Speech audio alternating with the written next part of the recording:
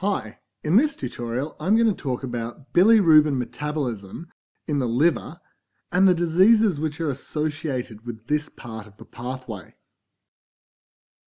So first of all, I'm going to draw a hepatocyte, which is the main functional cell of the liver.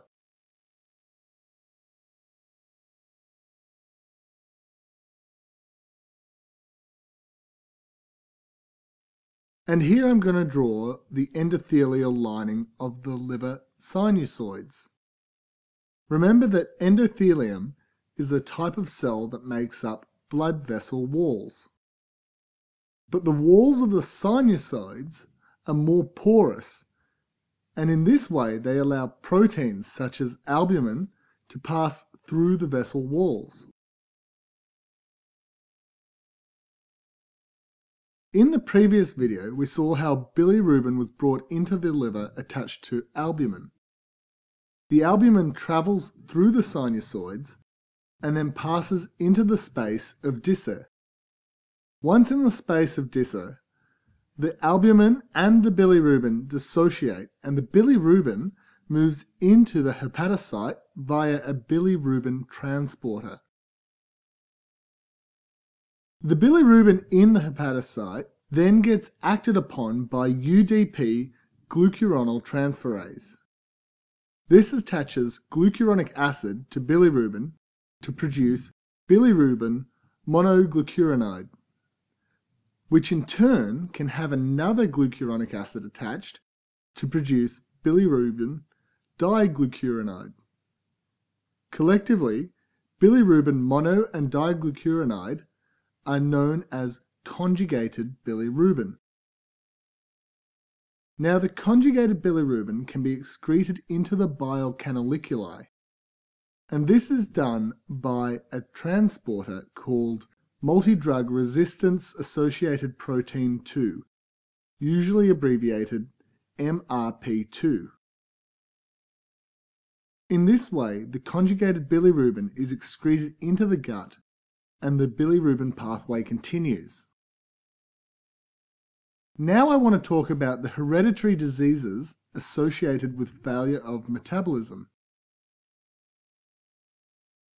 The first is a particularly nasty and rare disease called Crigler-Najjar syndrome. This is the result of a lack or major deficiency in UDP glucuronyl transferase.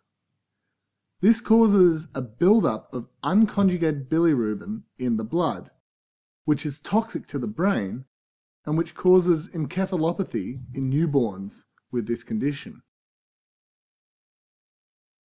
The next disease is called Gilbert's syndrome, and it's caused by a reduced activity of UDP glucuronyl transferase. Usually this syndrome is asymptomatic However, during periods of increased hemolysis, that is, increased red cell breakdown, jaundice can occur.